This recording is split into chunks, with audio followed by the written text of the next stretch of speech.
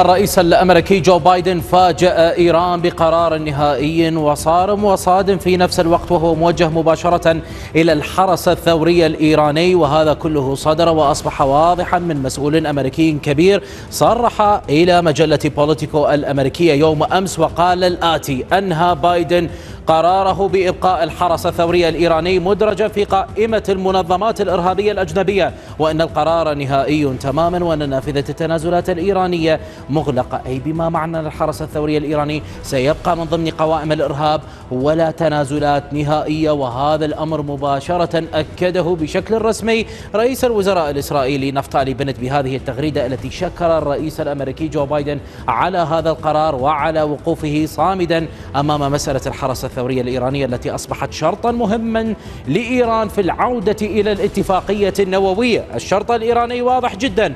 ارفعوا الحرس الثوري الإيراني من قوائم الإرهاب وسنعود إلى الاتفاقية النووية. وما الذي يعني هذا بالنسبة إلى إيران؟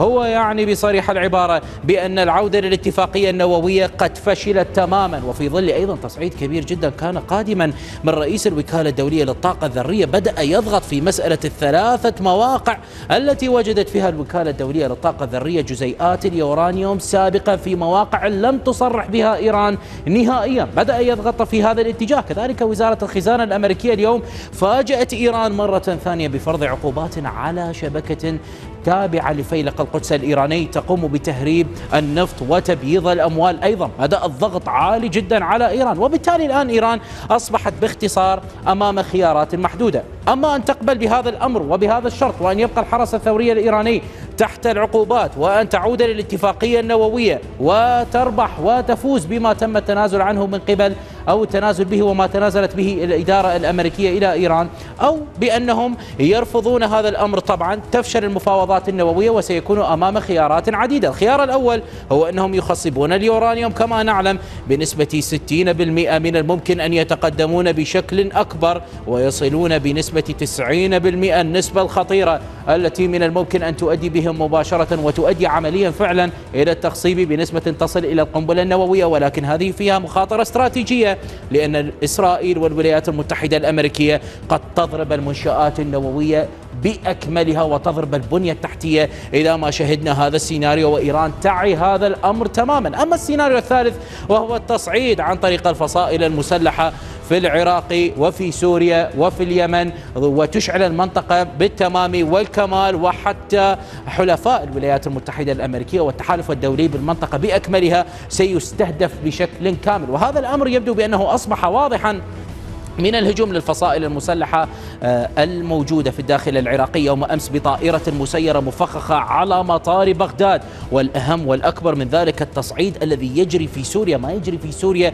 هو الأخطر على الإطلاق. هنالك كانت لقطات حصرية لوكالة عين الفرات قامت بنشرها اليوم. هذه اللقطات لشاحنات وهي تدخل مباشرة إلى دير الزور. وبحسب الوكالة وما تحدثت عنه بأن هذه كانت شحنة لطائرات مسيرة إيرانية تصل إلى دير الزور على ذمتهم طبعا بكل تأكيد. عندما نتحدث عن دير الزور ودخول شحنة بطائرات مسيرة واضح بأنها الكثير والكثير من الطائرات المسيرة ممكن أن تكون موجودة في هذه الشحنة. سيعني بأنه ستكون هنالك هجوما وهجمات كثيرة جدا على قواعد التحالف الدولي الموجودة شرق نهر الفرات.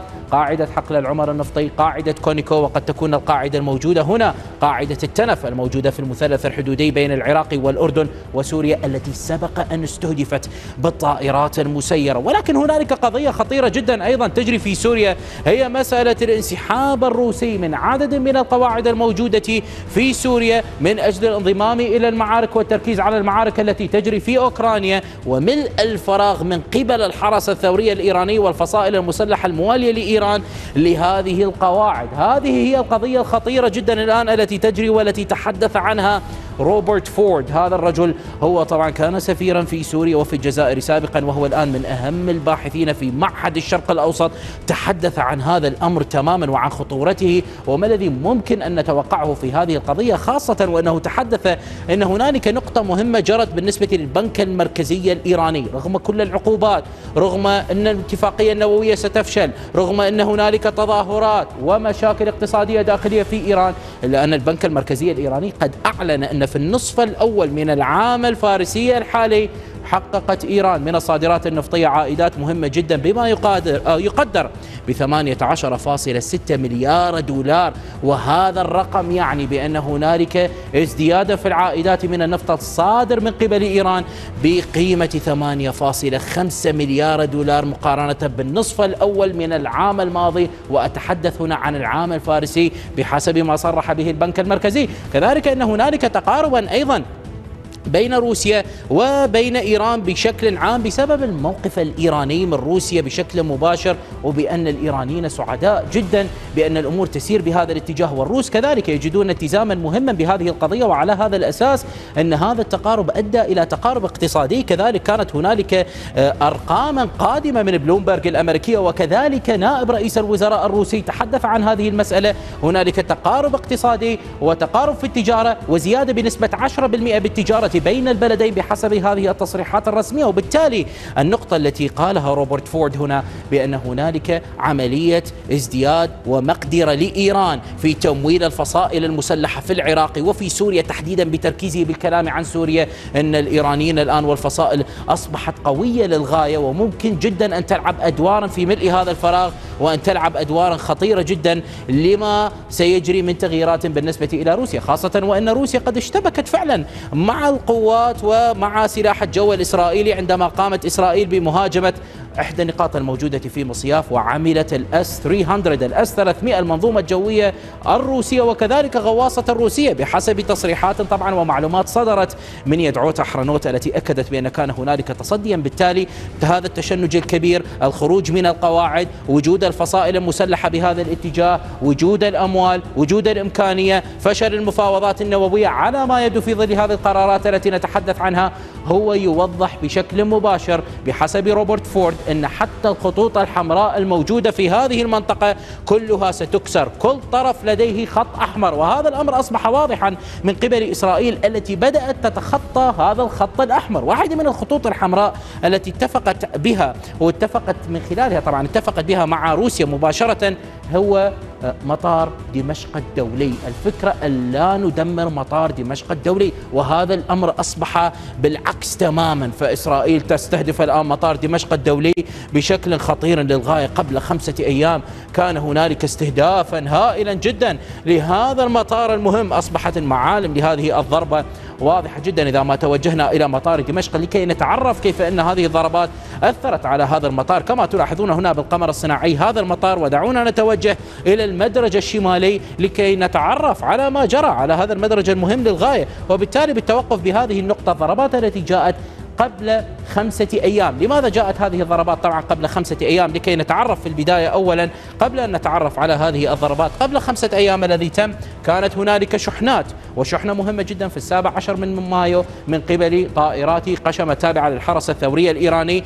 ظهرت بهذا الشكل وصلت إلى مطار دمشق الدولي بقيت لمدة ثلاثة ساعات غادرت هذه المنطقة. وهذه طبعا واضح جدا من التسجيل. قشم فارس إير كما تلاحظون وكذلك بوينغ 747 في السابع عشر من مايو. مباشرة في العشرين من مايو كانت الضربة حاضرة كما تحدثنا. إذا ما الذي أحدثته هذه الضربة كما نتحدث الآن؟ هذه الضربة هي أصابت المدرج بشكل كبير في هذه المنطقة. كانت هنالك إصابتين بهذا الاتجاه وكانت هنالك إصابة في مقدمة أو في مدخل هذا المنعطف الذي يأتي بهذا الاتجاه. طبعا المهم للغاية هذه الضربة كانت مؤذية للغاية بالنسبة لهذه النقطة وبالتالي إذا ما ذهبنا إلى القمر الصناعي بحسب التحديثات التي جاءت قبل ثلاثة أيام في الثاني والعشرين طبعا من مايو كان المطار والمدرج الشمالي لهذه النقطة التي أشرنا عليها طبعا كانت تبدو بهذا الاتجاه. الاتجاه كما تلاحظون ليس هنالك تغييرا ولكن هذه في العشرين من مايو طبعا في نفس يوم الضربة ولكن لم تكن محدثة.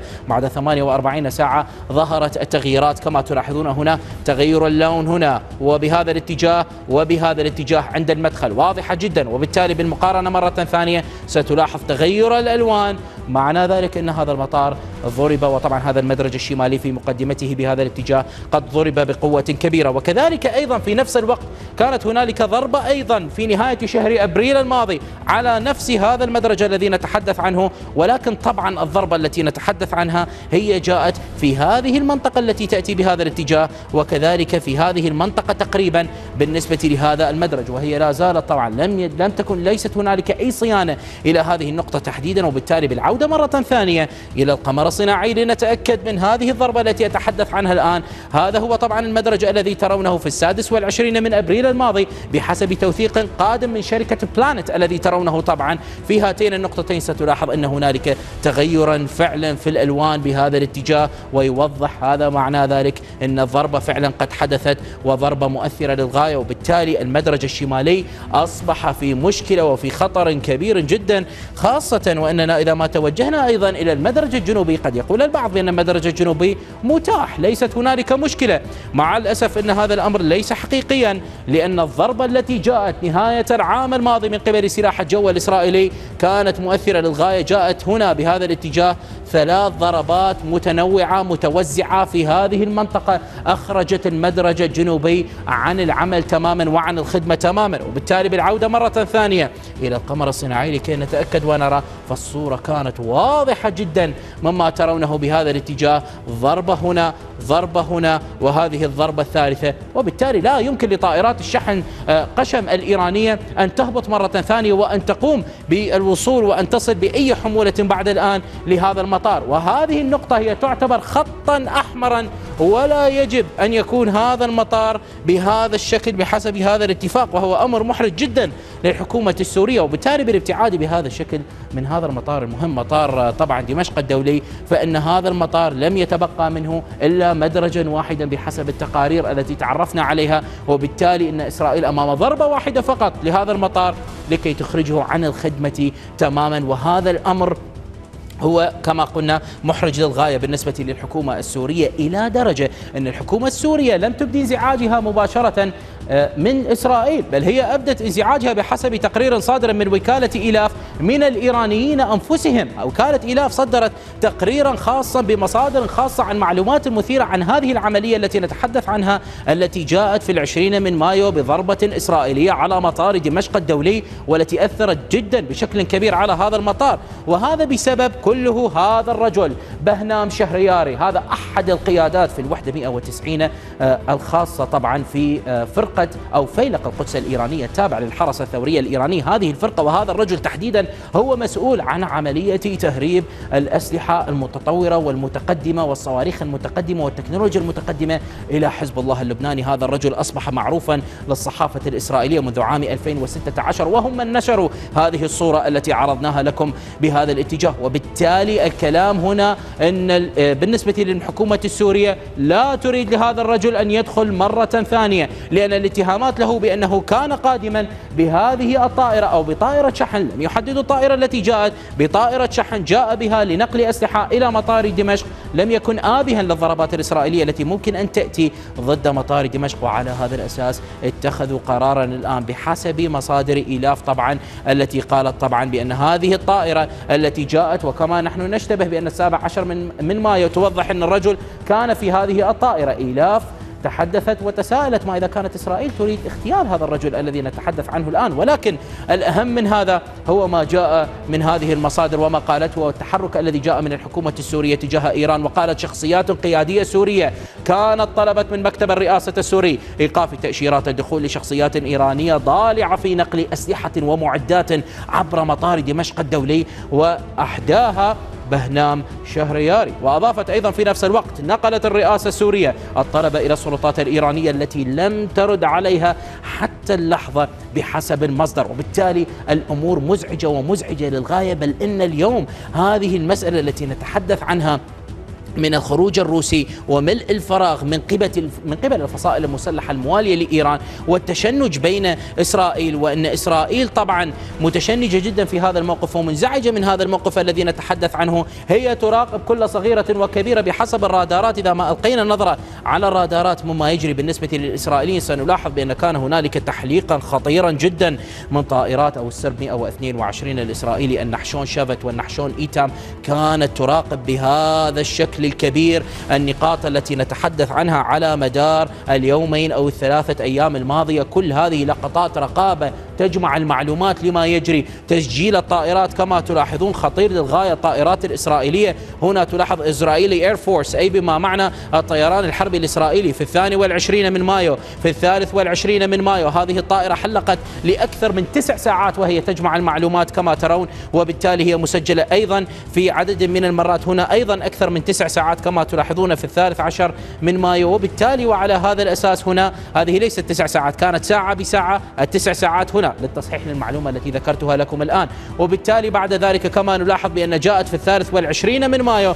كل هذه الطائرات الحربية كانت تحلق الإسرائيلية بهذا الشكل المكثف وهذا يوضح بأنهم يراقبون وهنالك نية لضربة قد تكون قادمة خلال ال 48 ساعة أو ال 72 ساعة لنقاط تتواجد فيها الفصائل المسلحة. اليوم كان هنالك أيضا تحليقا للنحشون شافت بهذا الشكل. تراقب دمشق تراقب النقاط. الواضح أن هنالك رقابة كبيرة جدا وبالتالي إذا ما اختفت من الرادارات هذه الطائرات سيعني الكثير وسيعني خطورة كبيرة للغاية. وبالتالي الخروج الروسي اليوم من سوريا بشكل عام الواشنطن بوست تحدثت عن هذا الأمر ووجدت أن هذا الخروج من هذه المنطقة والحرب الموجودة في أوكرانيا ستزعزع الأمور في سوريا بشكل خطير للغاية. وقد يكون بالنسبة للروس مبررا لماذا هم يريدون الخروج طبعا مباشرة من هذه المنطقة المهمة جدا ألا وهي سوريا لأن هنالك أولويات أهم. المعركة التي تجري في إقليم دونباس تحديدا. هم لا يريدون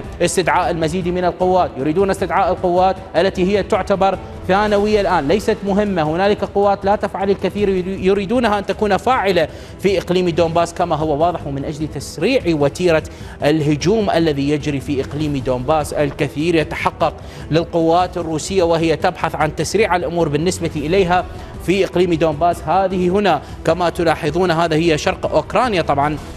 وهذه الحدود الإدارية لإقليم دونباس بهذا الاتجاه لوغانسك وطبعا هذه دانيتسك. التطور الجديد بالنسبة لروسيا الذي يأتي خلال ال 48 ساعة الماضية هو يأتي في سيفرو دانيتسك طبعا وليس في سيفرو دانيتسك بل هي من أجل محاصرة سيفرو دانيتسك وتأتي من هذه المنطقة تحديدا التي هي يطلق عليها ليبوف وكذلك أيضا في منطقة ليمن. تطور كبير جدا. دعونا نقترب من هذه المنطقة لنتعرف عن ماذا يجري وعن الصراع الكبير الذي يجري بين القوات الروسية والقوات الأوكرانية التي تحاول أن تصمد أمام هذا التقدم الخطير الذي يأتي طبعا من القوات الروسية تحديدا بالنسبة للقوات الأوكرانية. كما نعلم هي لا زالت تسيطر على سيفرو دانيتسك وليتشانسك هنا بهذا الاتجاه وهي لا زالت تسيطر على باخموت وكذلك آه هذه المنطقة ألا وهي سلوفيانسك وكراماتورسك بهذا الاتجاه. وهنا التطورات الكبيرة التي تأتي في ليمان وكذلك في ليبوف التي تأتي بهذا الاتجاه تقريبا بالنسبة للقوات الروسية.